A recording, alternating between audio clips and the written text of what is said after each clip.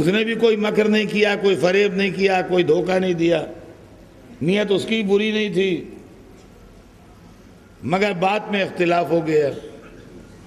अब इत्तेफाक से किसी मौके पर दोनों यकजा हो गए। रसूल की रहलत के बाद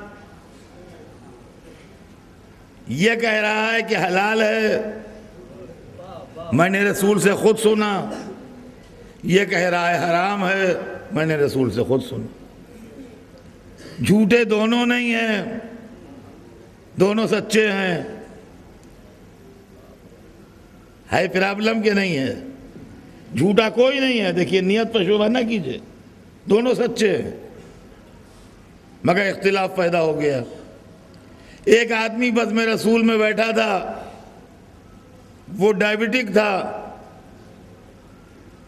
उन्होंने कहा या रसूल्ला मैं खजूर का हलवा खाऊं? आपने कहा, ना, तुम खजूर का हलवा ना खाओ। तुम्हारे लिए जायज़ नहीं ये हुक्म ख़ास है। इसलिए कि खजूर का हलवा खाने से उसकी डायबिटीज़ बढ़ जाएगी, बीमार हो जाएगा। वो बेचारा ज़्यादा समझदार नहीं था। वो समझा कि मुतलकन खजूर के हलवे को मना कर रहे हैं। वो अपने गाँव में गया खबरदार, कोई खजूर का हलवा ना खाए। रसुल्ला ने कहा है खजूर का हलवा आराम है। अब बताइए, हम ये नहीं कह सकते कि ये आदमी बुरा है। यह आदमी धोखा दे रहा है। नहीं, इसके फहम का कसूर है कि इनफरादी हुक्म को सबके लिए समझ रहा है। और हमाया आपने तो अब मसला यह है कि एक आदमी बदम रसालत में ऐसा होना चाहिए जो ये फैसला करे कि कौल रसूल का मतलब क्या है।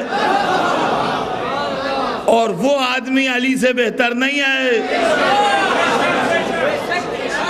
जो बताएगा कौन हुक्म आम है, कौन हुक्म ख़ास है, कौन सबके लिए है, कौन फ़र्द के लिए है, कौन इलाके के लिए है, कौन ज़माने के लिए है। और गालिबा यही वजह थी कि मस्जिद नबी भरी हुई है। तो मस्जिद नबी उन लोगों से नहीं भरी हुई थी जिनसे मुगल मस्जिद भरी है।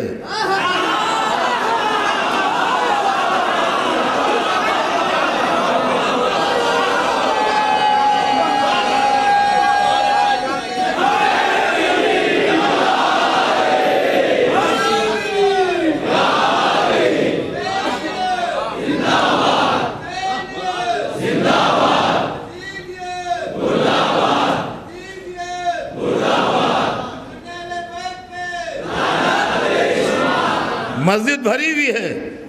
यहाँ के लोगों से नहीं, जिनको कुरान पैदाइश के साथ मिला। मस्जिद उन लोगों से भरी है, जिनके सामने थोड़ा थोड़ा करके कुरान आया।